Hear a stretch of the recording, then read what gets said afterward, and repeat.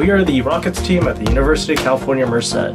My name is Kyle Chun, and I'm the director and the flyer of record for UC Merced's very first two-stage rocket for the Argonia Cup 2024. But first, let's learn a little bit more about the team who built this rocket. Uh, my name is Noah Price. I'm a third year mechanical engineering major here at UC Merced.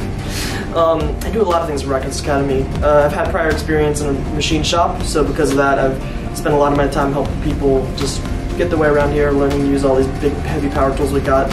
Uh, alongside this, I have a lot of experience with CAD, so I've been helping a lot of a lot of modeling, a lot of design work, as well as a lot of the actual physical uh, physical putting together the entire thing. It's a lot more both ends of the spectrum, both ends of the design and the uh, components creation.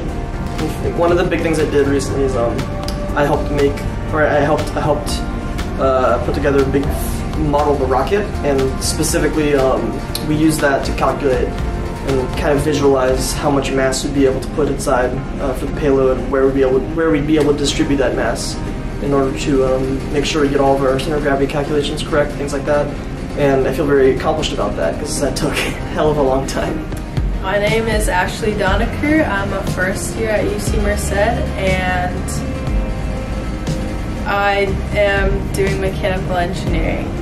For the Argonia Cup rocket, um, I helped a lot with the mock rocket to help understand some of the features that will go into the main competition rocket. Um, I also worked on the motor mount tube for the first and second stage and uh, focusing on the centering rings for the motor mount tube um, and epoxying those in the rocket. I also worked on some of the CAD work for the sleds in the in the electronics bay and learning a lot from that.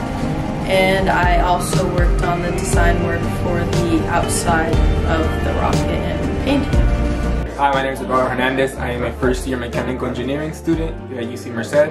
Uh, my primary job here was like was helping with the manufacturing of the rocket. I worked in prepping for the bonding of the rocket, that being the fins and the filleting of the fins. That was a lot of sanding, cleaning, disinfecting, and redoing, regoing again. And then after that, I helped with the finish work of the fins, of the fillets, where where I cleaned up the fillets, I cleaned up the epoxy that was leaking, making sure to keep the like the importance of aerodynamics in the rocket. There wasn't anything that was out of order. I then I helped on the we found an error with the where the rod for the motor rod was too long, so I helped cut and then tab holes for a new uh, motor retention. And then after that, uh, and then I'll also be part of the campus team. So my primary job will be to help uh, document the, document the trip, that being like the rocket, you know, before and after photos of the, after the rocket, making sure everything is well documented and everything is good. Hello, my name is Patrick Vasquez. I am a second year mechanical engineering major and I've been with AIAA for roughly a year now. Um, so far, I have contributed to the projects known as Rockets Academy and Project Turbine, and from these experiences, I've been able to gain so much from the project leads and the directors themselves. And within Rockets Academy, uh, I recently obtained my level 1 certification, and based off that, I was able to find my inspiration towards rocketry. And pursue it even more, becoming a more consistent, more drive, more um, dedicated member to the team.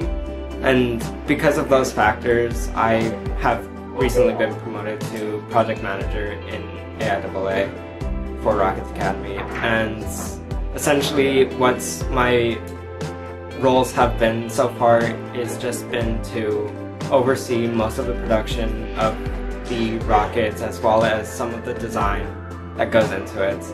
Um, and because of that, I feel that I am well prepared to take an even higher position in Rockets Academy in the future.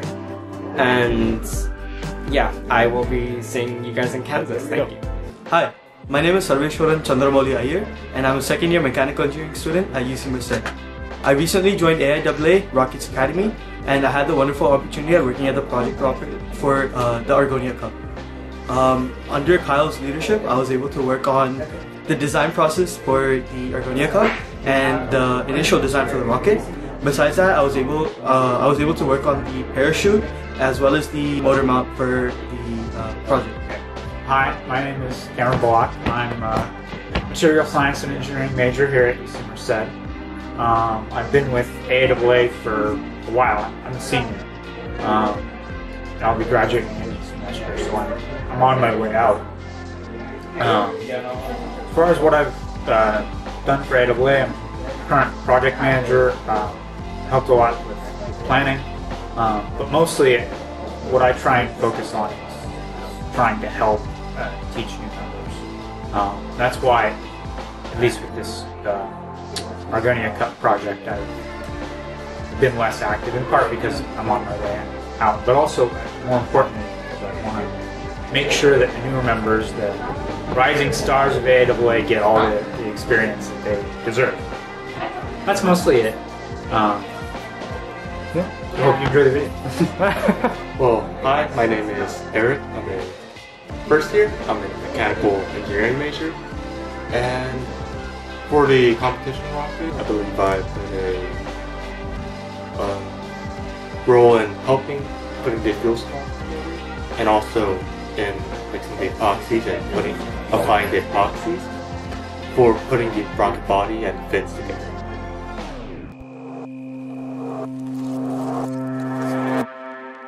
This.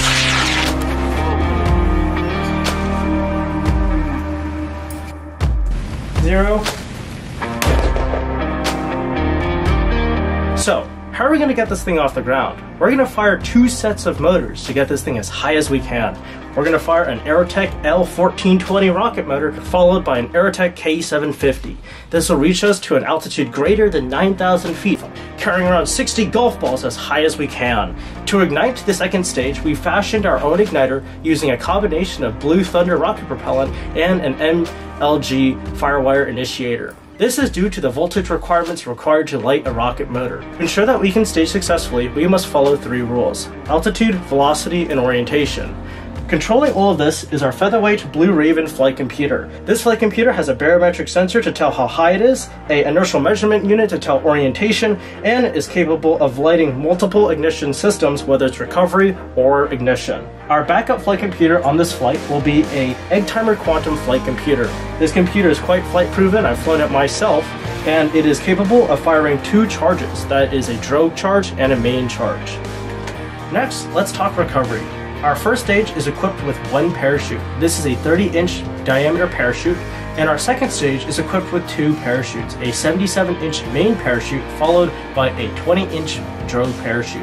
Our drogue chute is about one fourth the size of our main parachute, and our main parachute ensures that we touch down at a velocity less than 35 feet per second. For the deployment of our parachutes, we're going to be using a series of charge wells that we have proven in the past with aluminum 661 charge wells. On this flight, we're going to be using ABS 3D printed charge wells. These charge wells we have already tested, and each charge well is going to be loaded with about 5 grams of gunpowder or black powder. Within these charge wells is going to be an MJG firewire initiator. These charge wells will then be topped off with a piece of aluminum tape, ensuring that the charges build up enough pressure before bursting, allowing for the airframe to be filled with pressure, therefore deploying our parachutes. The nose cone of our second stage, as well as the upper airframe of our second stage, is secured to our lower airframe with a series of three 440 shear pins. Each shear pin is designed to break at a maximum of about 75 pounds of force. So if you do some quick math, that will be a total of around 300. Oh, okay, we won't go into that. In the second stage of our two-stage rocket, we have fabricated a forward bulkhead which can be bolted in place that will secure 30 golf balls in the lower airframe of our second stage. This is also where our primary recovery system for our second stage attaches to in the form of a wire harness, a swivel, and a bunch of quick links. In the nose cone of our second stage are the remainder of the approximately 30 golf balls. This is where we have more golf balls loaded into the rocket. The nose cone is secured to its shoulder with a series of plastic rivets, capable of carrying uh, roughly 60 golf balls. We have a 77 inch main parachute in our upper stage right here, and this uses a standard dual deploy configuration with a 30 uh, drogue here. The way we calculated the size of the drogue parachute is that the size of the drogue parachute roughly is one fourth the size of the main. This ensures that we come down reasonably quickly and uh, we don't go ballistic on the way down. Here we have our first stage. our first stage is fairly small. Um, I should say that uh, this is built out of a Wildman uh, Rocketry Argonia Cup kit, so designed specifically for the competition. Uh, this parachute in here is actually fairly small. It's a 30 inch main, uh, mainly because the first stage is actually fairly light, and so we estimate it'll come down pretty quickly. But the last thing to mention here is that in here we'll have a separation charge for redundant uh, separation.